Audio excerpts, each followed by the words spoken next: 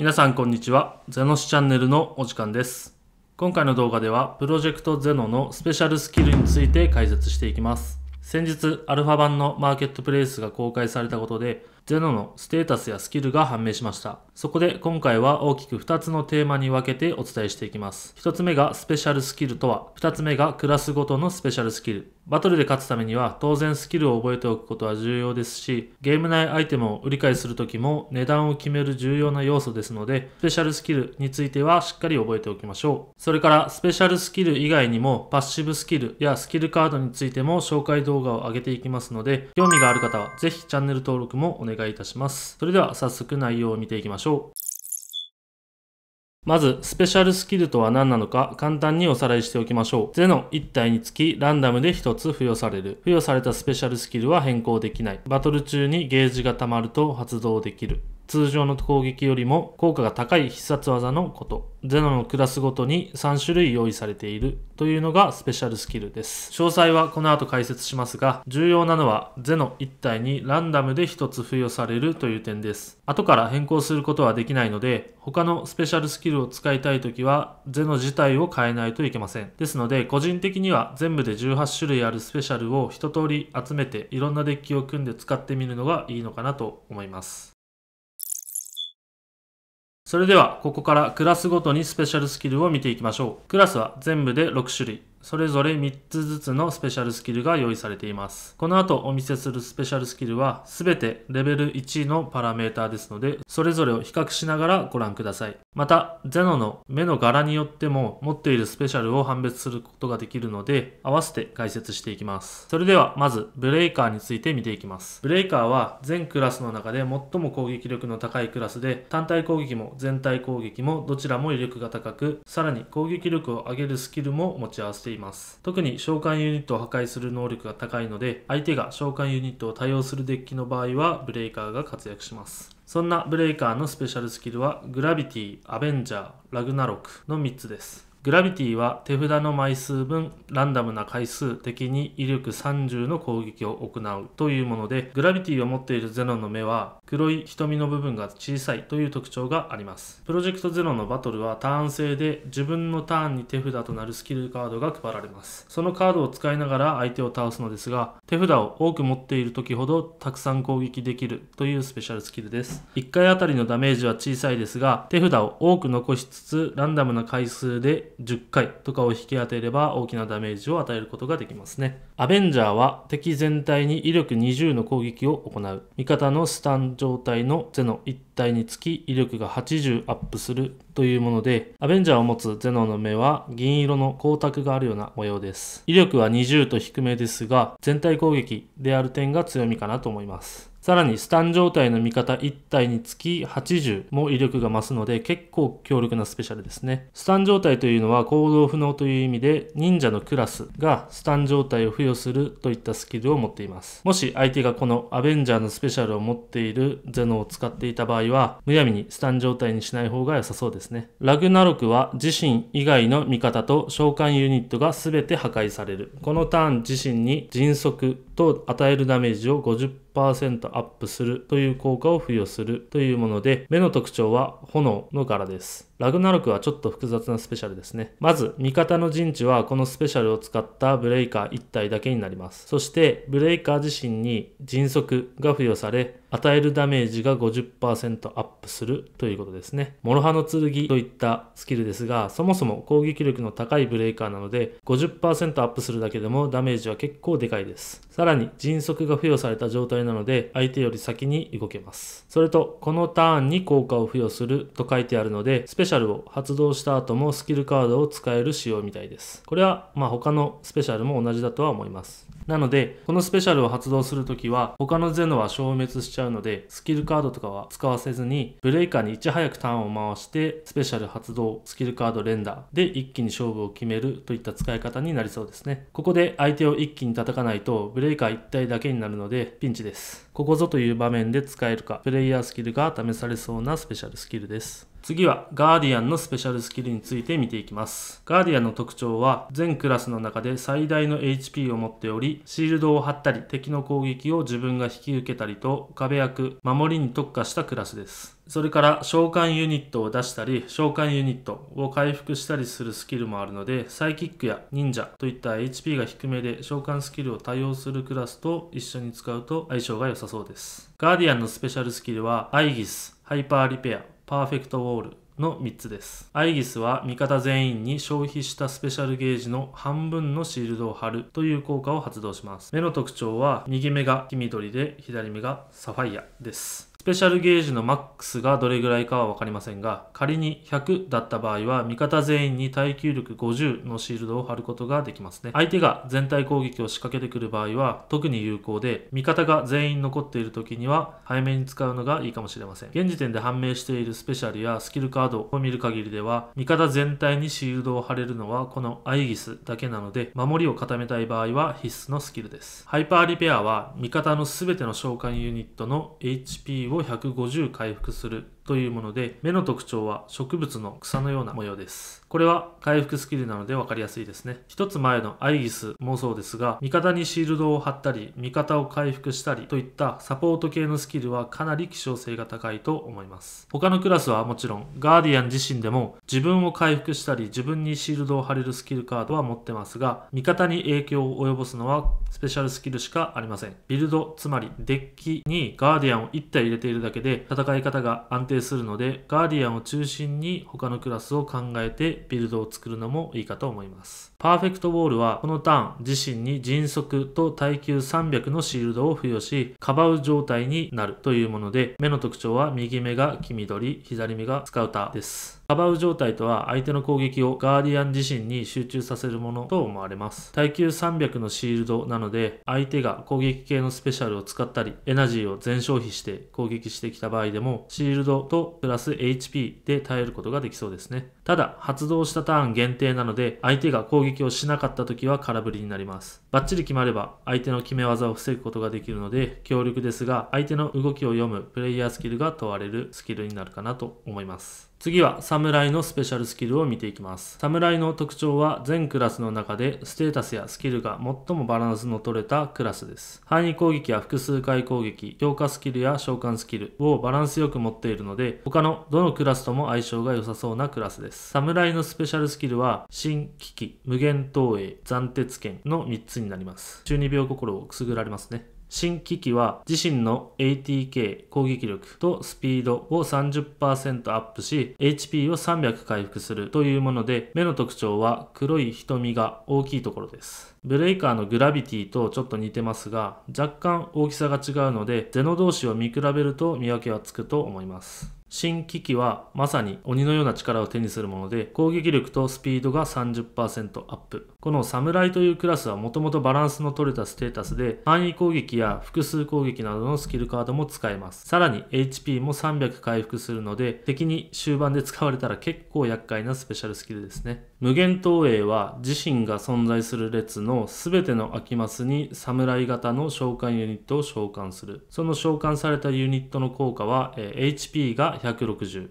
最も近い敵の縦一列に威力100の攻撃を行うというもので目の特徴は赤くてちょっと怖い瞳ですね。無限投影は全スペシャルスキル18種類の中で2つしかない召喚系のスペシャルスキルになりますまず、自身が存在する列の全ての空きマスにユニットを召喚するということで、このスペシャルを持つ侍を使う場合は、他のゼノを横並びにさせないようにしないといけませんね。列と書いてあるので、縦横の列に召喚できるとすれば、最大4体召喚できます。さらに、召喚された侍型ユニットは、HP160 で最も近い敵の縦1列に威力100の攻撃といういうことで、相手も召喚ユニットを出している場合だと、一気に片付けることができそうですね。HP160 だとスキルカードワンパンでは倒せない可能性もあるので、使われたら結構厄介です。ガーディアンのハイパーリペアは召喚ユニットを回復できるので、組み合わせて使ったらずっと数的優位を作れそうですね。暫定剣は敵単体に威力200の陣形無効攻撃を行う。この攻撃は必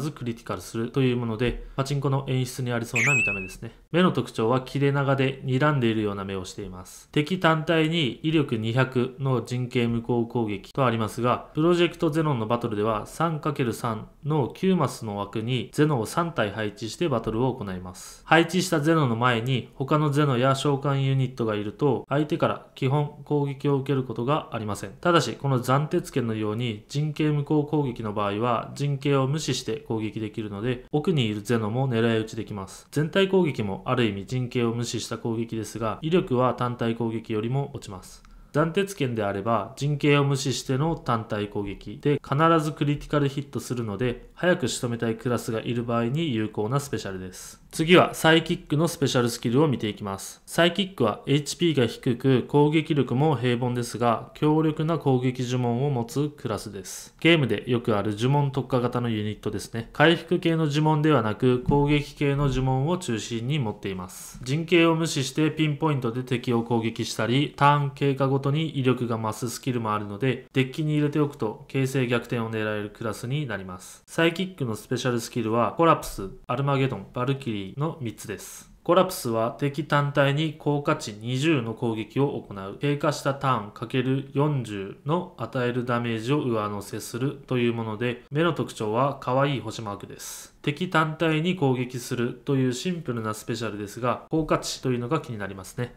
これまで紹介してきたスペシャルスキルは威力〇〇という表記がされていました。効果値というのはベースとなる攻撃力の何パーセントという状態のことを言うので、効果値20であれば ATK 攻撃力の20%分の攻撃ということになるのかなと思います。つまり、レベル1のサイキックは攻撃力 ATK が180なので、その20%、36の攻撃をすることになります。加えて、コラプスでは経過したターン ×40 のダメージ上乗せがあるので、スペシャルを使う終盤、10ターン経過していれば400上乗せです。シールドを貼ったガーディアンでもワンパンできそうですね。効果値については、本当に倍率補正かどうかは今のところ判明していませんが、威力と効果値を使い分けて書かれているので、おそらくそういうことだろうと思います。サイキックの他にも、この後紹介する忍者やグラップラーも効果値と書かれたスペシャルが登場するので注目しておきましょう。アルマゲドンは敵全体に効果値50の攻撃を行う。経過したターン ×10 の与えるダメージを上乗せするというもので、目の特徴は奥の方が光っててちょっと不気味な感じです。これは全体攻撃なので、陣形を無視して効果値50、つまり ATK50% 分の攻撃をするというものですね。さらに、経過したターン ×10 の上乗せダメージがあるので、終盤になるほど威力がアップします。スペシャルスキルはゲージがたまらないと使用できないので、使うときはおそらくまあ5ターン以上は経過していそうですね。ただ、一つ注意点があって、忍者のスキルカードで空いているマスに爆弾を設置するというものがあります。これは爆弾が破壊されると敵全体に80のダメージを与えるというものです。なので全てが空いている場合は6マスにセットされて 80×6 の480ダメージが全体に攻撃されるのでこの爆弾がある時はは全体攻撃で全て破壊してしまうと逆に大ダメージを受けるので要注意です。ガーディアンでシールドを貼るか爆弾を1つずつ処理してから攻撃するなどの工夫が必要になりそうです。バルキリーは空いているマスにバルキリーを1体召喚するというもので召喚効果は HP150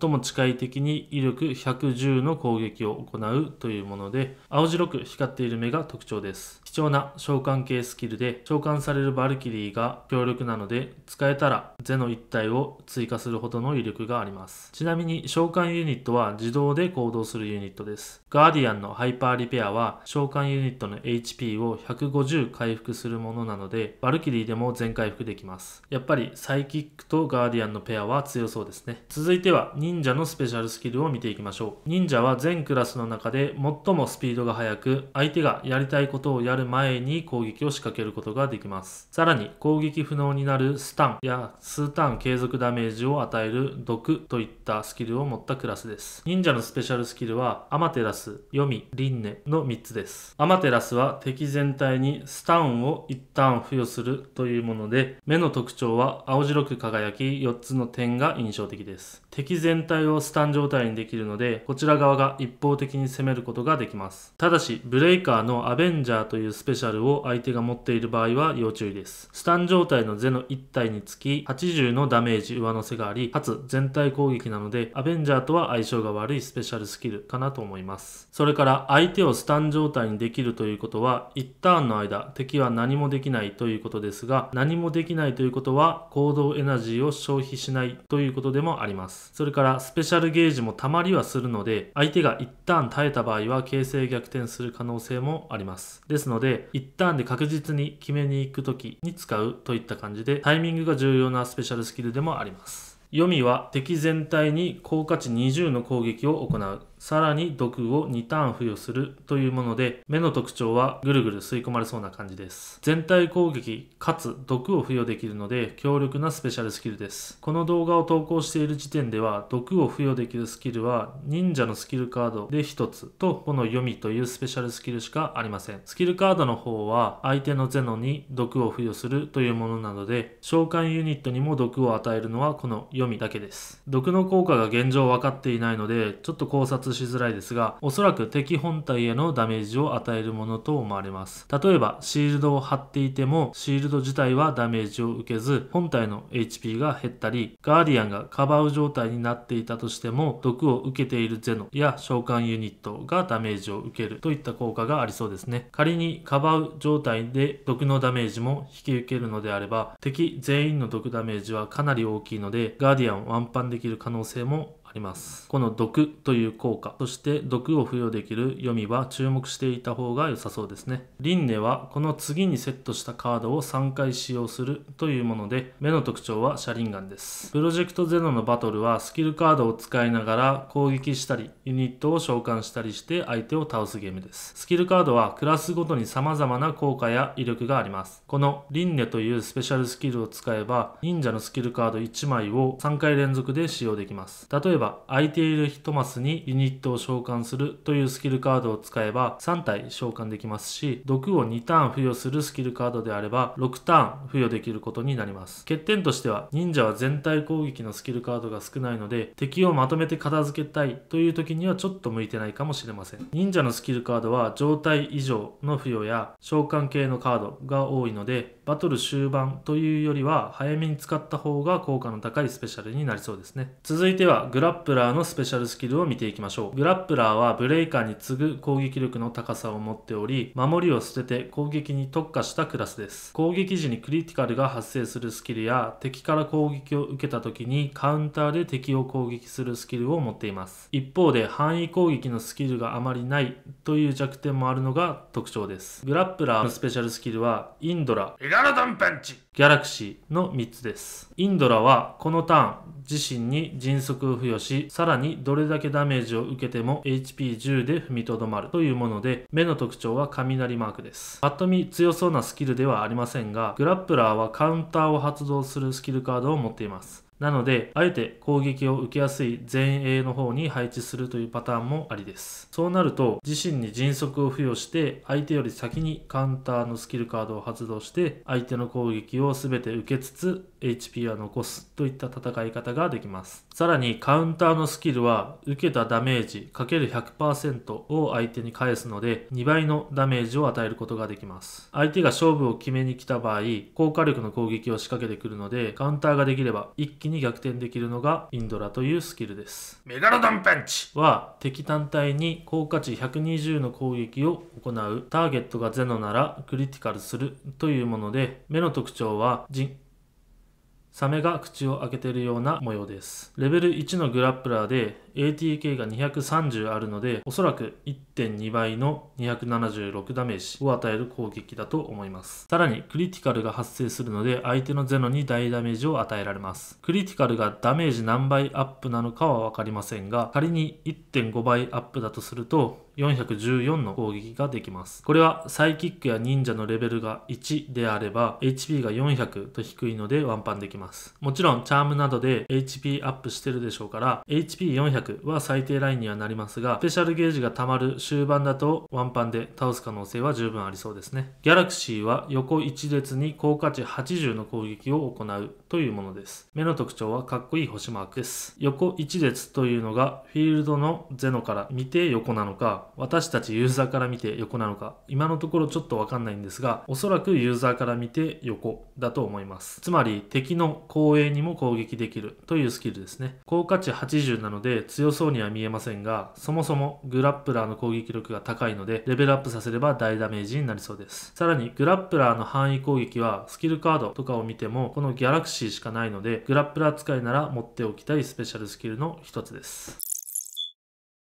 はい。ここまで、プロジェクトゼノのバトルにおけるスペシャルスキルをご紹介してきました。スペシャルスキルはゼノにランダムで付与されるので、各クラスを1体ずつ持っていても、スペシャルスキルは全部持っていないということも起こり得ます。冒頭でもお伝えしたように、個人的には各スペシャルを一通り集めて、使いやすいものや、その時の環境に合ったものを使っていくのがいいのかなとも思います。それから、スペシャルスキルをはじめ、パッシブスキルやスキルカードは全て覚えておいた方がいいと思います。ゲームをやっていれば自然と覚えるかもしれませんが、追加されるものもあるので、ゲームリリース前に余裕がある方はぜひ覚えてみてください。バトルはターン制で1ターンあたりの制限時間は決まっています。その貴重な時間でスキルの効果を確認するのは結構時間ロスになりますからね。この動画の概要欄には各スキルを紹介している場所の目次を作っています。後から見返すときはぜひ活用してみてください。それからパッシブスキルとスキルカードの紹介動画も出すので気になる方はチャンネル登録をしてお待ちください。最後までご覧いただきありがとうございました。このチャンネルでは今後もプロジェクトゼロに関する内容をお届けしていきます。わからないことや気になることがあればお気軽にコメントで教えてください。また動画投稿のモチベーションになりますので、ぜひ高評価とチャンネル登録もよろしくお願いいたします。それでは次の動画でお会いしましょう。